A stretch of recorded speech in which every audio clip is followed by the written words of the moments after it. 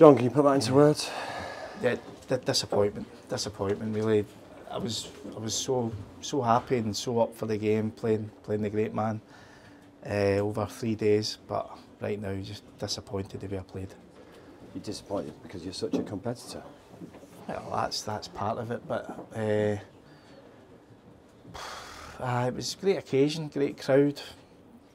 But, um, but look, Ronnie far too good. He was was too good in amongst the balls. As I said, he was lethal. I don't think he really missed one one ball when he was in amongst them. He might have run out of position a couple of times when he was getting to the pack a few times, but other than that, he was he was he was unbelievable, unbelievable.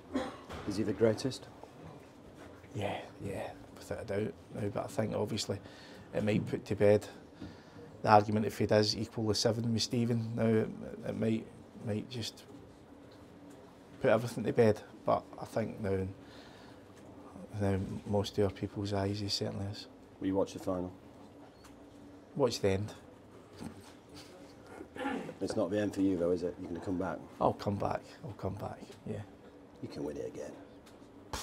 I don't know. Don't know so much now.